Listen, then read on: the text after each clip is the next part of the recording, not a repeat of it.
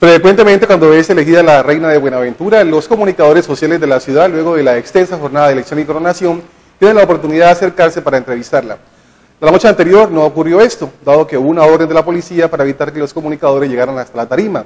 Entendemos que el objetivo de darle como un toque de orden a ese evento, pero de todas formas es necesario conocer la primera redacción de la candidata.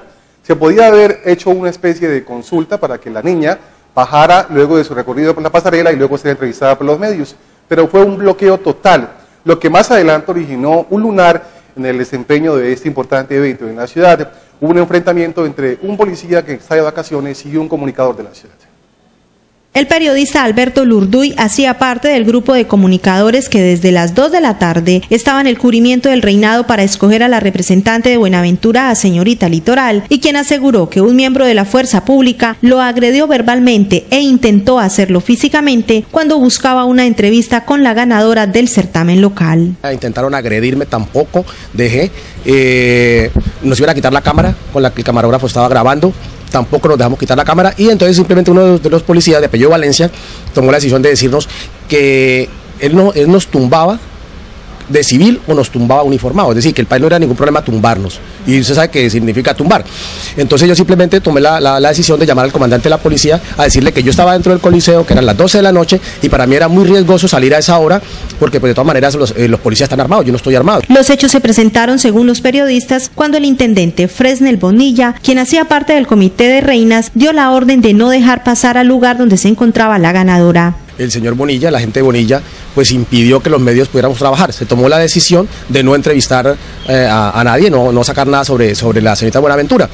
Yo me quedé hablando con James Saab, pues aparte que James, funcionario de la alcaldía, es amigo, me quedé hablando con él, el señor Bonilla viene, eh, me increpa, yo simplemente le respondo al señor, él arma, arma un, un, un zaperoco, intentó golpearme, pues yo obviamente no me iba a dejar. El comandante de la policía, coronel Héctor Triviño, dijo que abrirá una investigación disciplinaria a los policías, más cuando uno de ellos está en vacaciones y no tiene facultades para ejercer actividades de la institución. No, no alcahueteamos ni permitimos que los uniformados de pronto se extralimiten en el ejercicio de sus funciones. Estos eventos, obviamente hay un comité, ese comité debe observar y dar a conocer los resultados de un evento, un certamen que es para el pueblo, pues hay que darlo a conocer.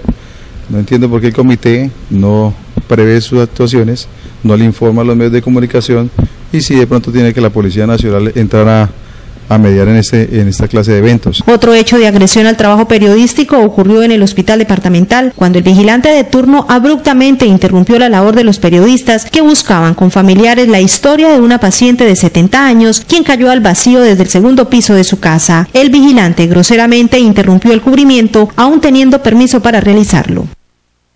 En la vida hay momentos.